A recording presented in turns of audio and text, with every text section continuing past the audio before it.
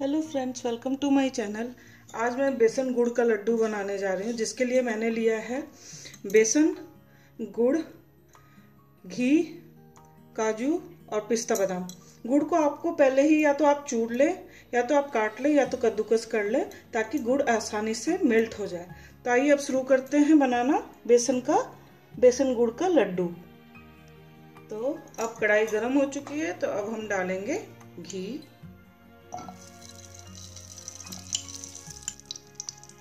अब देखिए, घी अच्छी तरीके से गल चुका है। मैंने हीट एकदम सिम कर दिया तो अब मिलाएँगे बेसन। हाँ जी।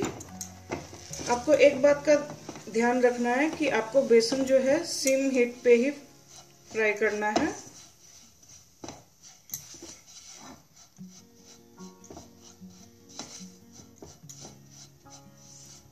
तो इस तरीके से हमें सिम आँच पे ही फ्राई करना है, भूजना है। इस बात का ध्यान रखें आप लोग।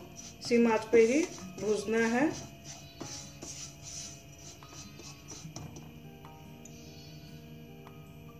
ये देखिए, बहुत अच्छी तरीके से बेसन का कलर चेंज हो चुका है, रंग चेंज हो चुका है और धीरे धीरे हल्का सा घी भी छोड़ने लगा तो एकदम सिम आँच में ही फ्राई करना है, थोड़ा टाइम लगेगा, पर सीमात में ही करना है आप लोगों को।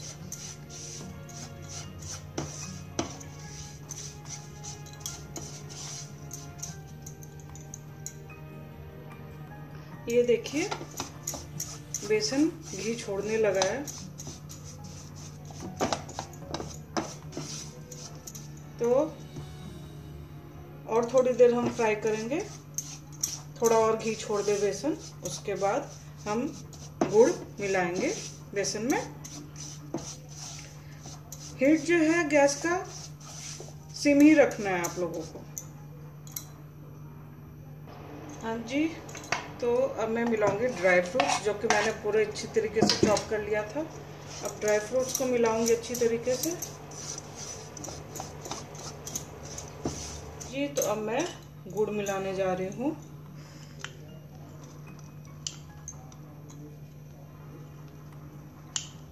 गुड़ आप अपने हिसाब से मिलाइए, आपको कितना मीठा चाहिए, उस हिसाब से आप लोग गुड़ मिलाइए।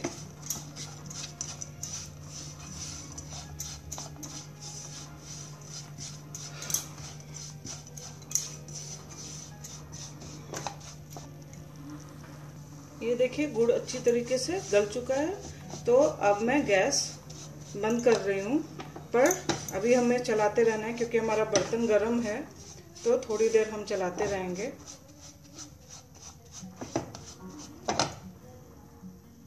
और अब मैंने एक प्लेट लेके इसमें इस तरीके से घी को ग्रीस कर लिया है।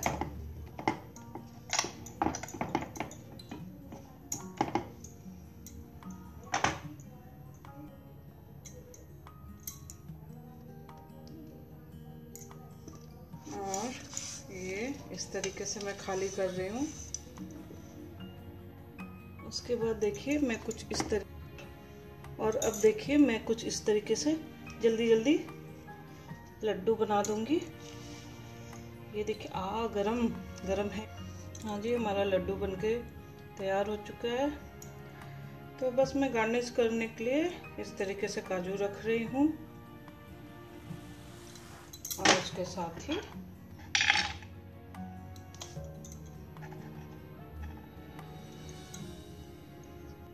ये आप लोग देख सकते हैं, हमारा गुड़ बेसन का लड्डू बनके तैयार हो चुका है।